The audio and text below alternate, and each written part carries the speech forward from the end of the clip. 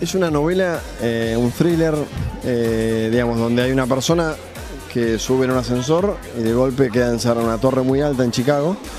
Eh, quedan encerrados en el piso 54 y durante casi 14 horas en un día, una de las personas que viaja muere. Y bueno, cuando los logran rescatar del ascensor, se van, al otro día lo viene a buscar la policía y lo acusan de asesinato. Y Entonces ahí empieza toda una historia de develar cómo puede ser. Las personas que viajaban con el ascensor lo acusan de haber sido el asesino de la persona que muere.